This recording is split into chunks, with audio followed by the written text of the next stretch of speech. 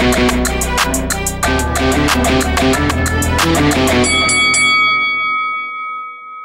guys, welcome to Boxing Squared for boxing news and views from around the internet. The Croatian prospect Filip Hrgovic has advanced to 7 0 after grafting to a unanimous decision win over Kevin Kingpin Johnson. And the fight itself, it wasn't really close on the cards. It was uh, all the rounds to Filip Hrgovic, including a knockdown in the second round, or what was ruled a knockdown.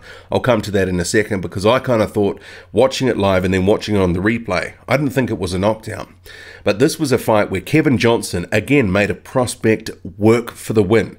Recently, he fought Daniel Dubois, took Daniel Dubois, a big, heavy hitting prospect out of the United Kingdom, took him all 10 rounds, and he did the same to Hrgovic, and this time it was 8 rounds.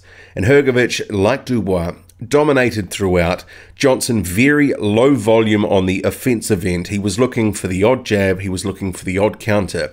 But for most of the fight, that was the output from Kevin Johnson. Hrgovic, meanwhile, first couple of rounds, he was really looking for the right hand, overhand right, early and often. He was able to tag Johnson clean with it a few times, but a lot of the times Johnson was catching the right hand on his gloves, it was hitting his shoulder, he was giving Hrgovic the shoulder, he was able to ride some of the punches. So while there was a lot of shots thrown, Johnson was able to evade many of them, or at least, you know, block some of them.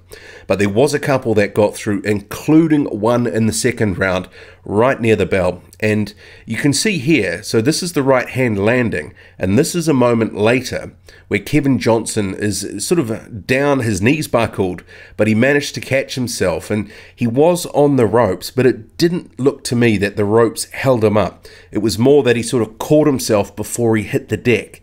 But Hrgovic, he walked off straight away, and then the ref gave uh, Johnson an eight count. So I kind of thought when that happened, I was like, well, hang on, I didn't actually think that was a knockdown, but it was ruled as such. And even when they replayed it at the end of the fight, I thought, I thought Johnson caught him, but ruled a knockdown. So Filip Hrgovic showed if he could land clean on Johnson, he was able to hurt him. And not many guys can say that over the course of Kevin Johnson's career.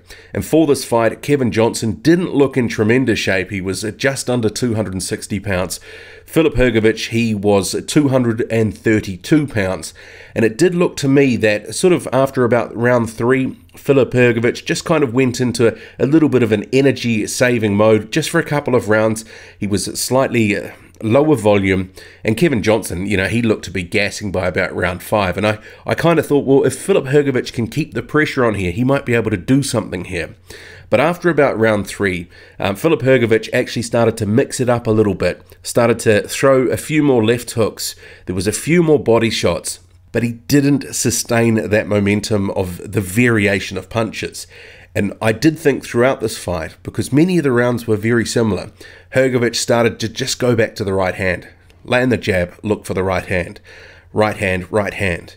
And he was having success. He was winning the rounds off the back of it, but I would have liked to have seen more variation because there was a body shot, you know, it was either the fourth or fifth round, I thought actually that looked to have hurt Johnson. He was grimacing, and I thought actually Hrgovic would do well to go back to the body.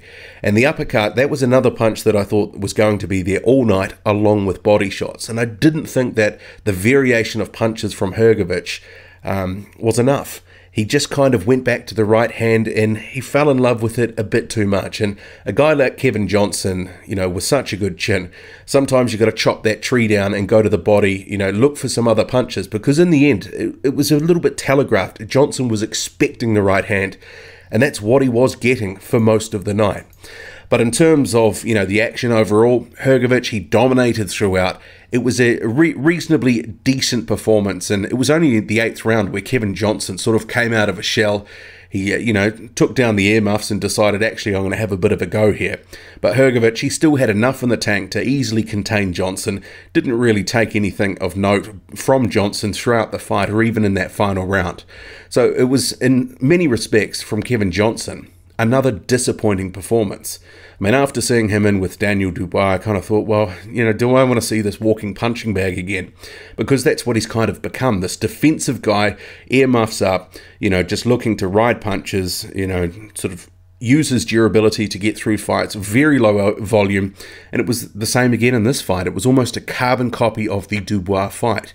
And if we compare the two in terms of the performance and who was more impressive, well, maybe you could slightly edge it to Hrgovic. There was a little bit more variation. He looked to try change tactics through the fight, but ultimately he did go back to looking for that right hand. But maybe Johnson in this fight was slightly more ambitious than he was in the Dubois fight.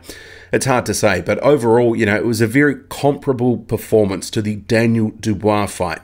And I guess, you know, 7 0 now, facing a Kevin Johnson, we have to keep this in perspective.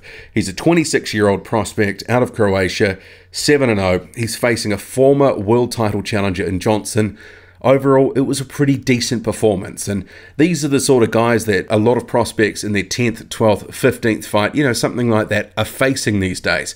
Hrgovic slightly accelerated his seventh fight, but it must be said Johnson was drafted in at late notice after Hrgovic's uh, original opponent had some trouble with travel documents or getting, you know, to Croatia, whatever it was. But I thought Johnson was a better opponent than the previous one, Yatalo Pereira. In terms of 2019, I think the future is bright for Filip Hrgovic. I think they will go away, look at the tape, because a fight like this can actually maybe expose a couple of things that you do want to work on. Whereas, you know, you get some of these other soft touches as a prospect. Sometimes, you know, an early knockout can disguise some of the things that you maybe do need to work on. I would have liked to have seen the jab, you know, with a bit more snap in it. I would have liked to have seen the left hook a bit more, working the body. That was something that was there if he wanted it, and certainly the uppercut was there as well. So the punch variation, it could have been better in that fight. But overall, I thought it was a good performance, and 2019 does shape as a decent year for Filip Hrgovic.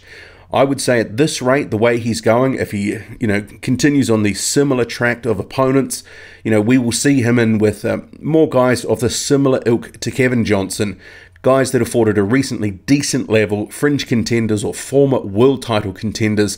There was a lot of talk that Johann Duhaupas might be an opponent for this fight for Filip Hrgovic, but it wasn't to be. But I could see that fight happening in 2019. But at the end of the day, you know, some of these things come down to money. But after that performance, you know, there's a lot to like about Filip Hrgovic and where he's at in his prospect phase. 2019, I think it should shape as a decent year. What did you make of that performance? Did you like what he was doing in there? Did you think he got a little bit one paced at times? There could have been a bit more variation. Tell me what you thought of that performance. Drop a comment, loud and often. Hit like, hit subscribe, follow me on Twitter, boxing underscore squared. I'm out.